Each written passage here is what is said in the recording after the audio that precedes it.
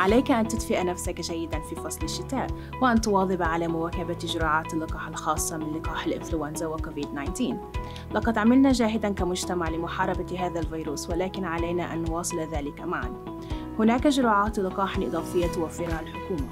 لمعرفة كيفية الحصول عليها قم بزيارة المواقع الإلكترونية للحكومة المعنية بصحة المجتمع.